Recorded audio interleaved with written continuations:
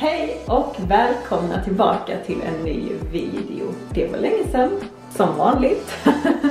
Händer alltid. Idag, vänner, så ska jag rensa min garderob tänkte jag. Och inte nog med det, för att jag ska sälja mina kläder som jag inte använder. Det tycker jag är himla bra för att jag tycker att det är trevligt när det går runt och liksom när eh, ja, man inte behöver ha den här hetsen att köpa nytt hela tiden utan man kan faktiskt få nytt genom någon annans gamla. Det som inte den vill använda liksom. Och det tycker jag är väldigt fint. Så att eh, man kan shoppa nytt på rätt sätt helt enkelt. Det vill jag verkligen uppmana alla till för att det är bra för sin plånbok och det är bra för miljön. Så ni får hänga med helt enkelt och först tänkte jag bara slänga på lite en snabb uppfräschning av det här ansiktet.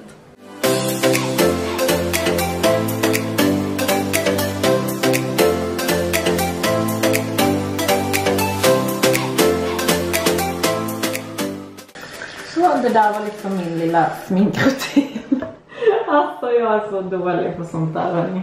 Ibland så tar jag faktiskt också lite liksom på kinderna bara för att se lite fräschare ut typ.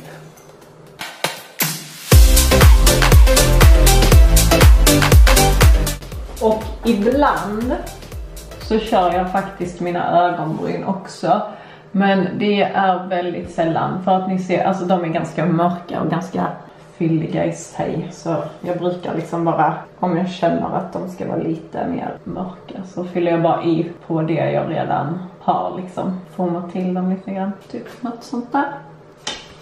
Okej, okay, där. Så jag är redo för dagen helt enkelt. Kanske lite luktgott på det och sen är man redo. Ja, jag har ju en ny frilla vad tycker ni om den? Jag tycker att det känns så ovant men min frisör liksom bara vill du någon gång ha så långt som du en gång hade? Här är en bild på hur långt jag hade när jag och Dennis träffades. Det är helt sjukt för mitt hår verkligen förändrades under graviditeterna och blev liksom slitet, torrt. Liksom jag tappade så mycket hår, eller har tappat så mycket hår. Så att jag var helt enkelt tvungen att klippa av det och det känns väldigt fräscht och väldigt skönt. Nu är det bara självtorkat och inte ens kammat som ni kanske ser. Och så ska jag bara köra massa olja och feta masker i.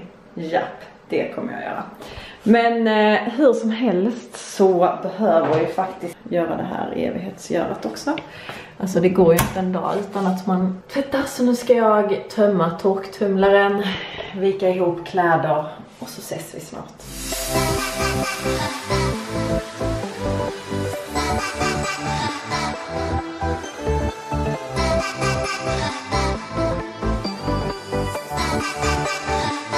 Så vi ska köra igång men jag vill också att ni ska veta att jag har rensat extremt mycket innan och de kläderna ligger hos mina svärföräldrar för att i flytten så tyckte jag att det blev rörigt om de stod här. Men jag ska ju såklart hämta dem därifrån. Nu hittar jag ju den här appen som detta är ett samarbete med. Så detta är alltså ett samarbete tillsammans med Thais. Eh, och jag kommer att visa er hur enkelt det är att lägga upp bilder, hur lätt det är att sköta appen helt enkelt. Sköta appen, men sköta sitt konto där man ska sälja saker.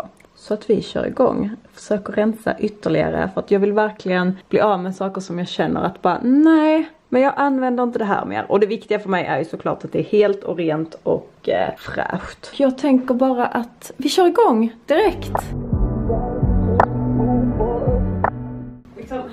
Hur många vita blusar som helst men jag gillar alla.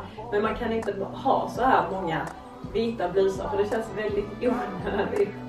Liksom de tar upp väldigt mycket plats. Kanske den här får ryka. Men jag tycker den är så himla enkel att ha och den är nice. Typ nu när jag är gravid så kan man bara ha den på sig. Och alltså, ni hör ju. Jag har så svårt att göra mig av med grejer men ja, som sagt jag har redan rensat en gång men det behövs faktiskt ännu mer. Den här, här har jag faktiskt inte använt på väldigt länge. Men den är också väldigt snygg till typ läderbyxor. Och det är typ min enda röda grej. Nej, men vänta. Jag har en röd sak till. Det här är min balklänning som jag hade när jag slutade gymnasiet. Då var Milan tre månader. Den har liksom fått hänga med för att den har så mycket minnen och liksom jag blev mamma för första gången och... Men jag har ju aldrig använt den sedan dess. Så att det är ju synd om den inte ska få komma till användning. Den är ju väldigt fin. Ska jag prova den på? Det är så mycket minnen. Det finns någon som behöver denna mer än mig. Och det är väldigt synd. Jag önskar verkligen att jag skulle få kunna använda den här igen. Men eh, det blir nog inte så. Så jag hoppas att denna kommer till rätt person som verkligen behöver den. På sin bal eller till något annat tillfälle. Kolla min mage, den kom till och med med här. Jag tog den här över axlarna för att nu ser man ju verkligen att brun utan sol i ansikte, inget på armar och body. så det behöver man kanske inte kolla så mycket på. Men eh, hmm, den här åker nog ut i appen.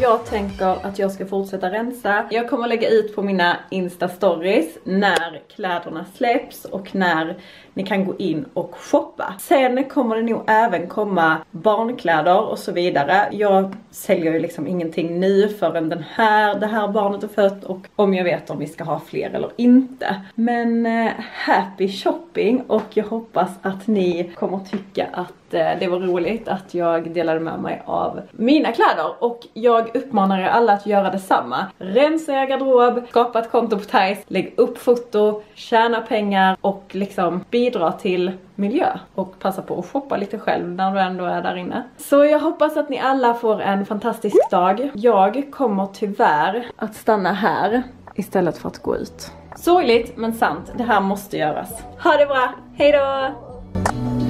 That's a rock, that's a rock, gotta play.